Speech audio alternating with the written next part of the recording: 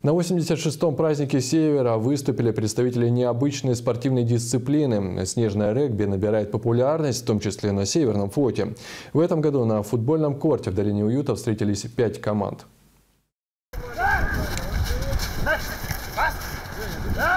Животный рык разносится над футбольным кортом в долине уюта. Так перед схваткой разминаются игроки команды «Северный рубеж». Им предстоит встреча с сильными соперниками, в том числе и сборных Северного флота. В последнее время, последние два года, очень сильно развивается регби именно на Северном флоте, благодаря, конечно, э, заботе командования и командующего лично. Вот. Поэтому они вырастили достаточно серьезные команды, и у нас будет серьезная конкуренция. Благодаря таким крепким парням, как отмечают многие поклонники этого вида спорта, словосочетание «заполярное регби» звучало не менее гордо, чем канадский хоккей или бразильский футбол. На самом деле, в общем-то, спорт для таких достаточно мужественных людей, ну хотя и мужчин, и женщин. Женщины тоже сейчас играют в регби активно. Вот. А ну, исторически русский народ, в общем-то, достаточно храбрый, смелый.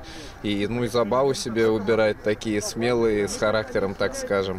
А что касается регби именно в Мурманской области, то вот дисциплина снежная регби, я считаю, вообще она жизненно необходима здесь, потому что у вас ну, достаточно длинный период времени идет зима, и снежная регби, командный вид спорта зимой, отлично, по-моему, подходит. Олимпийский чемпион Александр Панжинский и Алексей Петухов торжественно дали старт турниру. Из-за затянувшейся фотосессии с легендами российского спорта игра началась с опозданием. Но это не помешало регбистам настроиться на нужный лад. Да, есть небольшая стратегия соперника сложно всегда изучить. Каждый раз он, даже те команды, которые приезжают, каждый раз они новые, каждый раз они играют по-своему.